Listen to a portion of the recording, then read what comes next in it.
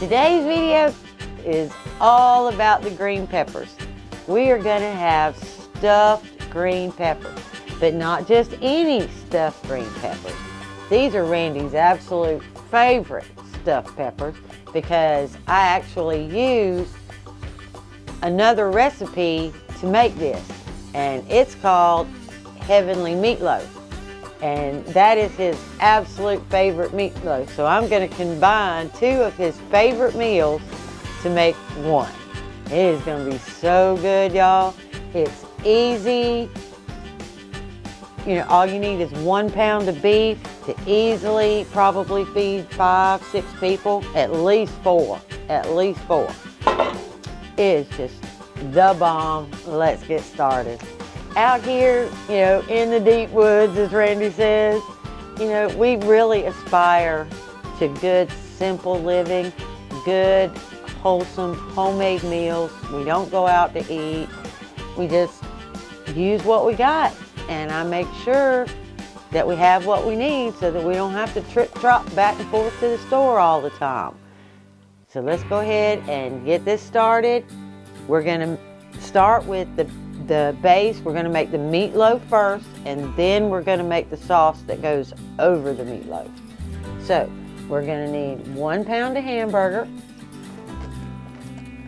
which is, I already have it measured out because that's the way I pack it, or usually try to. We're going to put that hamburger in that bowl. We're going to put one egg in that bowl. Voila, one egg. That's my egg. one cup of milk. One cup of salt. I use saltine crackers. You can use whatever kind you want, but I like saltine crackers. And we're going to put a little bit of minced onion in here. About two tablespoons. Gonna put a little salt to taste. Little pepper to taste. Gonna put a little bit of butter. I know y'all are thinking, what are you doing? But trust and believe me, putting that butter in there and that milk is what makes that meatloaf so, so good. Right? And I'm just going in there with my hands. I'm not wasting my money on gloves. I wash them before I get started, and I'll wash them again when I get done. All right. But you see how that just comes together, just like that. Doesn't take but a second. You really don't want to overwork it. You just kind of just want to make sure it all gets incorporated together and you are good to go. Okay, now I'm going to take that meatloaf mixture and I'm going to pack it down into those peppers.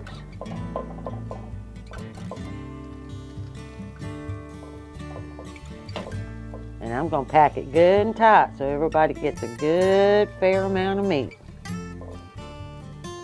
You know, actually, if you wanted to, you could consider this low carb because other than those few little carbs from, you know, a cup of crackers, which is like 10 saltine crackers spread across six peppers, you're really not getting that many carbs.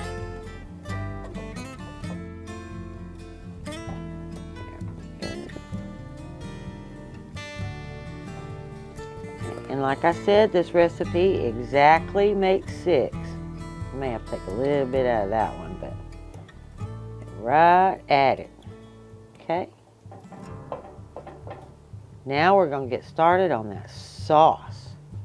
Now we got to make our sauce. So we need a half a cup of white distilled vinegar, a half a cup a Worcestershire sauce, a half a cup of ketchup, Bang, bang, bang. And one can of either stewed or diced tomatoes, whichever one you have. I just like diced for this. One tablespoon of sugar. That cuts the acidity on those tomatoes. Little bit of salt. Not too much because I've got that Worcestershire, which is basically salty. So if you didn't, you know, if you're watching your salt, don't put any. Little bit of pepper. We're gonna give that a good mix.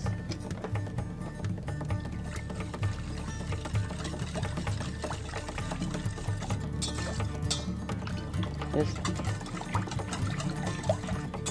make sure that ketchup's all incorporated is pretty much all we're doing.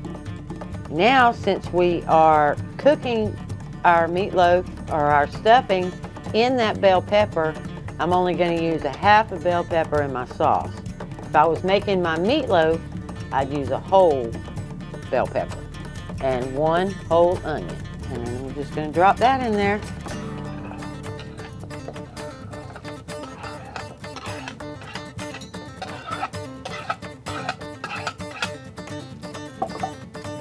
A good stir.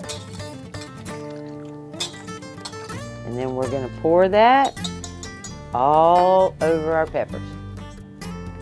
Here we go. Now I gotta be really careful with this so that I don't make a total mess. But I'm gonna pour this all over the tops of my peppers and all down the sides. Randy couldn't just let me cook four. He had to have me make six. Ah, all right.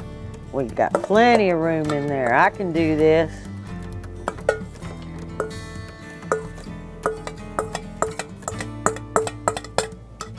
All right. Now all that's left is put this in a 350 degree oven for an hour. And then we'll be back and finish it off.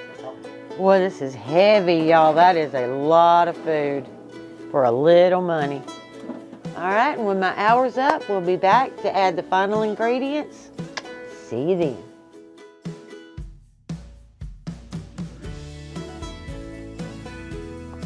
Now the last thing you're gonna need is just some kind of cheese.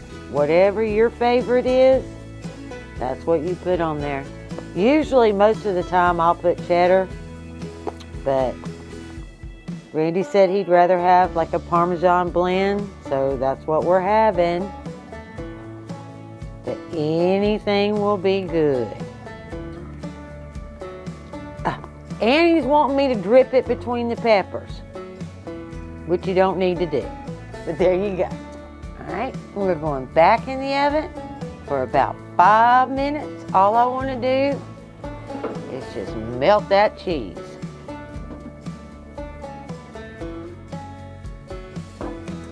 Wait till y'all see this. Oh my goodness, I cannot wait. I'm starving. All right, y'all, let's get this plated up. And then all that awesome sauce, I'm gonna put all that on the side. And, and Randy wants it on the top and it's his dinner, so there we go. All right.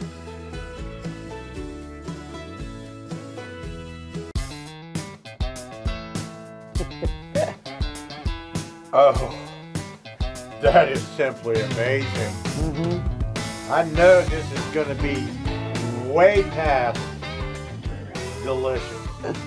This is going to tantalize my taste buds. Mm-hmm. I just know it is. Well, yeah, because that's what he asked for. Yeah. good thing we made six of them. Y'all have a good night. See you in the next video. Bye.